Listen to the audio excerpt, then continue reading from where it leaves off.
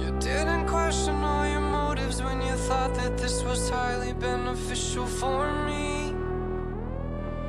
You then in turn began to think that it was cute to rub my face in all these made up stories.